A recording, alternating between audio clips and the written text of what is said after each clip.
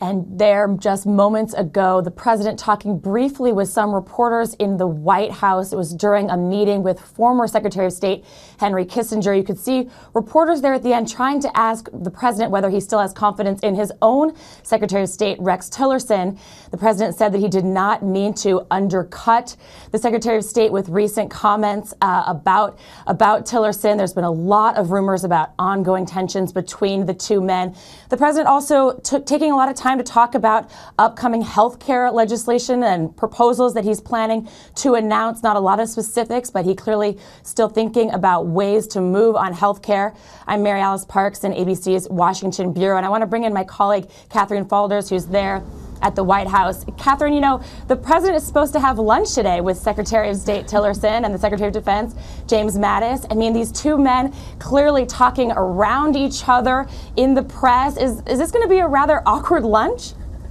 You know, I could imagine that it's going to be a rather awkward lunch. Now, press, um, we're not allowed into that meeting. There's not going to be a pool spray, as you just saw with the president uh, before. Um, perhaps maybe for that little uh, awkward awkwardness that may happen there. But with those with those IQ comments, it's it's pretty fascinating. I mean, we think back to um, and you know we've talked about this the the moron comments that have been reported that Secretary Tillerson uh, reportedly called um, the president a moron. Um, he uh, the president has dismissed that obviously as um, fake news. But what's fascinating about this IQ comment this morning is he says, I think it's fake news. But if he did that, you know, he's leaving um, some room open for that, saying, you know, I guess we'll have to uh, compare uh, IQ tests there. Now, he's almost asked uh, pretty much regularly at this point, as you mentioned, we've um, that there has been uh, tensions between uh, Tillerson and the president. Um, and he's almost asked regularly at this point if he still has confidence in him. Today he said yes. Um, but Mary Alice, I mean, I think you're right about that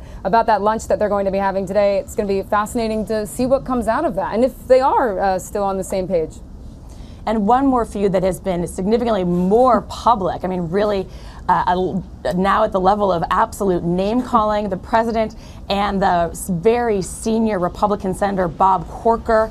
You know, people were talking, reporters were asking the president about some of Corker's recent comments too. You know, Corker is the chair of the Senate Foreign Relations Committee. And so this week, when he said that he was worried the president was leading the country toward World War III, it really set off alarm bells here in Washington and around the world because we're talking about a senator who would be uh, sort of in the know, who's talking to diplomats every single day in his position there in the Senate.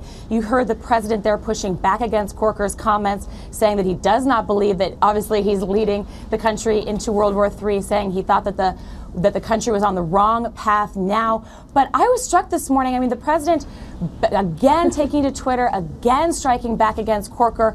He has a new nickname for the senator.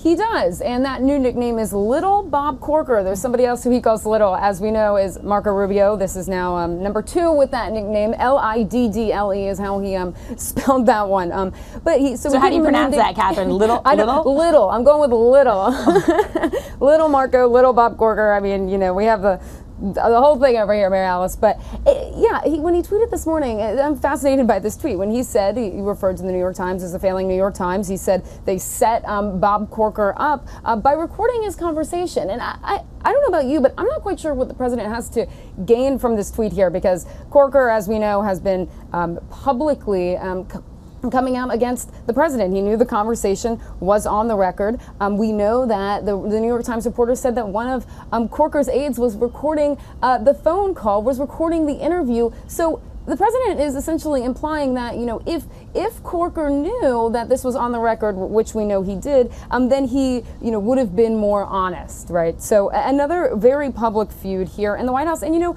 we're not getting any, any indication from folks over here that the president's going to let up on this, and in fact he probably still wants to fuel um, the conversation. And, and Mary Alice, something you can speak to uh, a little bit here is that Corker is a significant vote, especially on tax reform. The president was asked in that spray um, if, if, he thinks that this feud, this ongoing feud with Corker, what, would affects tax reform. And he said, I don't think so. But uh, what do you make of that?